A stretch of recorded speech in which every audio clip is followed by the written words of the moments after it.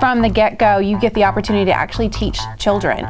That your first three times um, observations that you do with the UTeach program in step one, you actually teach. It's not just sitting to the side and observing what other teachers do. You have the opportunity where you have to step up. Not only do you get the hands-on experience with the kids, but the background education and the classes that you take through the program really prepare you for what education is really like. So you really get like a view of every step of the way, what it's like to be an elementary teacher, a middle school teacher, and then a secondary or high school teacher, and really make a difference. Uh, you Teach really was an amazing opportunity.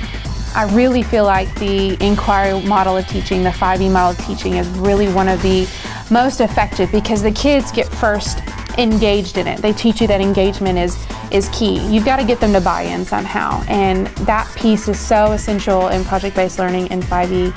And they really prepared me to teach in this style and this method of teaching. It's really kind of opened so many doors for me.